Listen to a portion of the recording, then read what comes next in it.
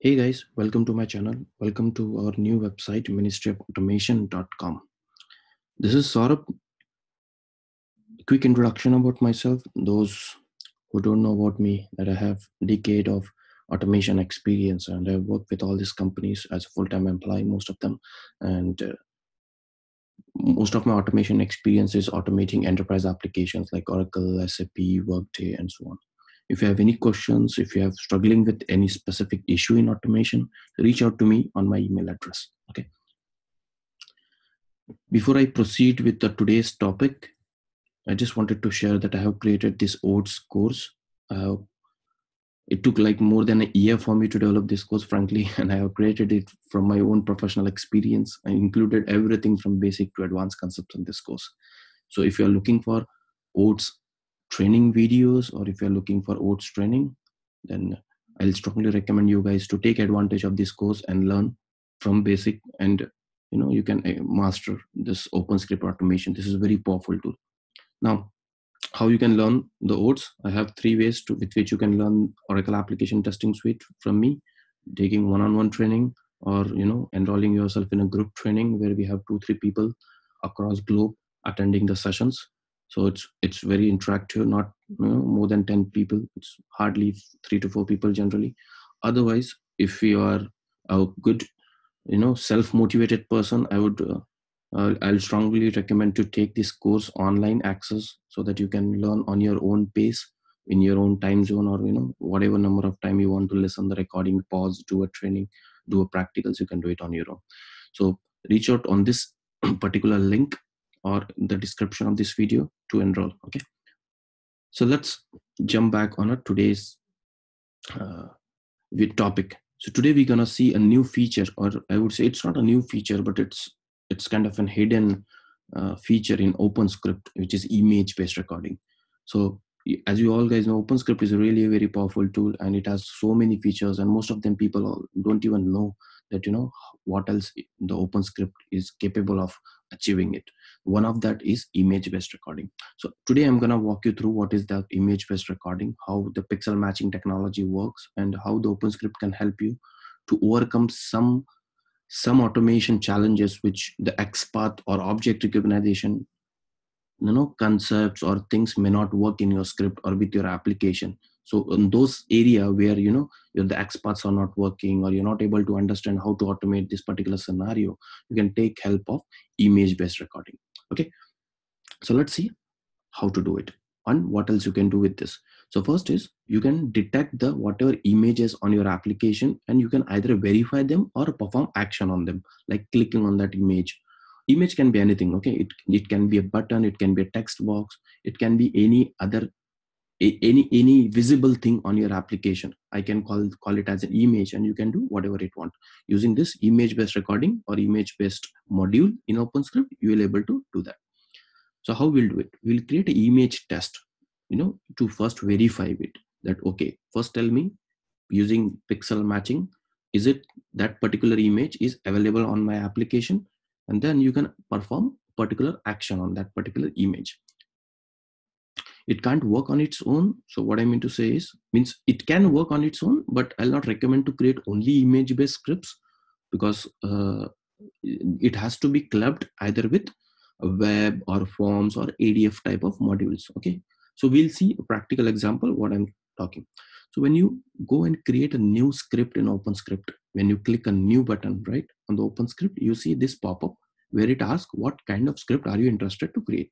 So when you select the image based recording option and click next, provide the image, uh, whatever the script name is.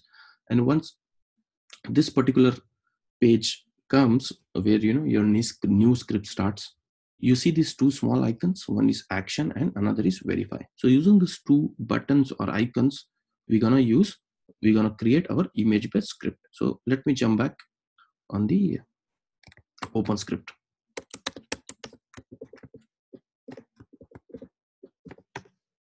Okay. So this is my open script. I'm going to click on new image based recording and then next. This is the one way. Other way let's say i'm creating a web script and then in that also you can enable the image based recording. I'm going to tell you how to do it. So first let me go and create next. Give the name. So i'll say image based so it's very important you know to understand how to name your script. So all these small small things i have included in my course. So no we shouldn't include special characters or spaces because when you create batch files or when you create bat files when you want to run them from command line if you don't name your script properly you will face a lot of issues down the line. So i've taken care of all these small small things which you may not find anywhere else because this is out of my own professional experience working so many years on OpenScript Oracle Apps Automation. So take advantage of that course and whoever is learning from my course is giving me a great feedback and great uh, uh, reviews. So I'm pretty confident on whatever I have created till now. And I'm keep on upgrading my course because there are a lot of new features coming in OpenScript with the new features and the new versions. So I'm keeping my course up to date, right? Now, so once you create an image based recording, this is the new script which you get. But oh, why this recording is disabled? So this will not help you. The reason because for web scripts or for forms or for ADFs, what we generally do is whenever you create a new script, you hit on the record button, the browser launches and you start recording, right? It records the XPaths and the objects and whatever actions you're performing on application, and it creates a script for you. The image-based recording works a little bit different. So let's see how you should create the image based recording script. Now here if you see these two options which i was talking about one is rec record image action another is record image test. These are disabled. And why so? You're not able to work with them on a java code view. So switch it to a tree view. Now you see these they are enabled right? I know this is kind of crazy small small things uh, sometimes blocks you to proceed but yeah uh, I'll, I'll make sure that i can make your life easy with all all knowledge sharing things whatever i have. So click on the image base. So before i do that what i need to do is i need to launch a browser and go to a particular application. So let's say i have already launched a browser and now i'm on the google.com right? So what i'll do is go here click on this record image action or record image test. So first we'll see what is record image action Now it will give you the pop-up say, press F10 to capture image and it says what kind of action you would like to perform. So if you see, once you click on this drop down, you have right click, you have wait appear, hover, input, and lot of other options as well. So let's stick to click right now. Go back to your application where you want to capture an image. Now press F10. The moment you press F10, you see, you get a, some kind of selection uh, icon right? And then you have to select you have to select only that portion of image on which you want to either perform a verify or you want to perform a action on it. So so let's say i'm selecting this particular area. So i'm saying okay this is the area i'm selecting. So whatever highlighted area i have selected only it's gonna match that highlighted image when it playback i'll show you how it works. Okay. Now double click on the area where you want to perform an action right? And what action which we selected and drop down is click action right? So i'm double clicking over here because this is the area where you type something when you want to search on a google right? So double click over here. The moment you double click this pop-up will appear. Now if you see here preview this has captured and stored your image whatever you have selected and wherever you double click that it took that particular coordinates x-axis and y-axis coordinate and then it recorded those threshold of similarity. So when you give threshold of similarity is one which means you want 100% match when your script is running. I'll not recommend to use one because you know not not every time the application uh, can match exactly the same image so generally for me, it works from anywhere between 0.6 to 0.8. 0.9 is also kind of difficult sometimes. So I will say 0.7, 0.8, whatever works with you. Okay. Now give the name to this. So I'll say Google search and then click OK. So file name, you can also give the file name because whatever selected image or whatever highlighted image that's gonna store get stored in your script in the png format with this name. Whatever name you're gonna give it over here it's gonna store that particular image. I'll show you where it stores. Click ok. Now click close.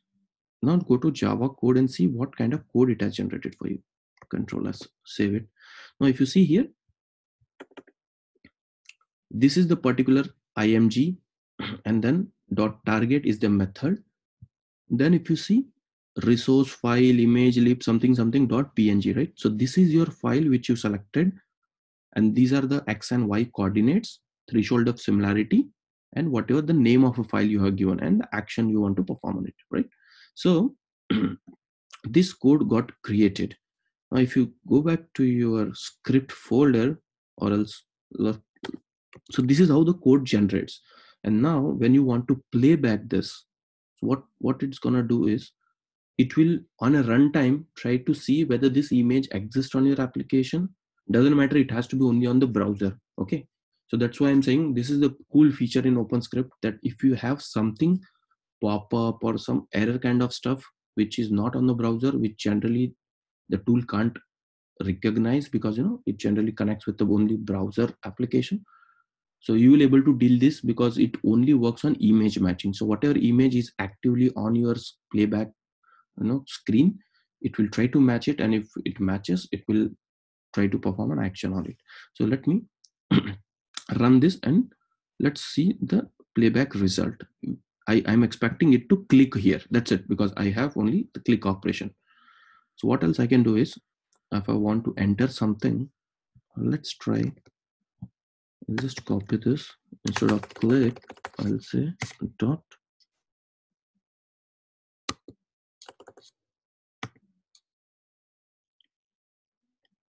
Input. And just test. Cool. Now let's run this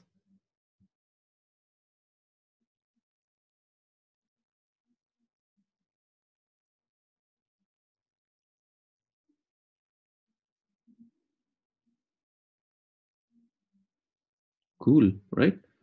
It selected automatically that particular search bar and it typed the test also right? So this is how the image based script works. There's very there are a lot of cool features in openscript and you know you can only take full advantage of this tool to automate your complex oracle erps when you know about it.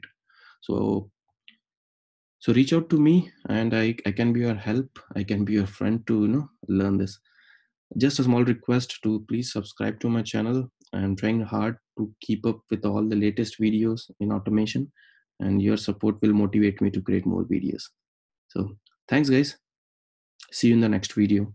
Bye bye